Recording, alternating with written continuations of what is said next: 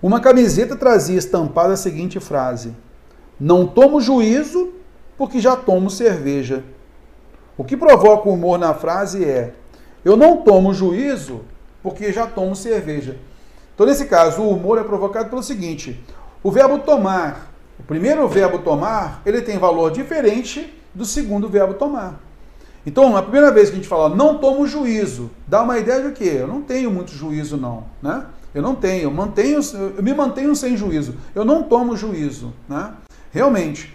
Então, é a ideia de ter juízo ou não ter juízo. Mas o segundo, porque já tomo cerveja. Ah, a ideia de tomar cerveja agora é de beber cerveja. Daí causando humor, beleza? A noção, então, que agora a pessoa falou é o seguinte: que ela não bebe juízo porque já bebe cerveja. Seria isso, tá legal? E nesse caso seria inadequada aqui a ideia de beber, tá? O que provoca o humor na frase é justamente esse sentido inesperado para esse primeiro verbo aqui, tá legal?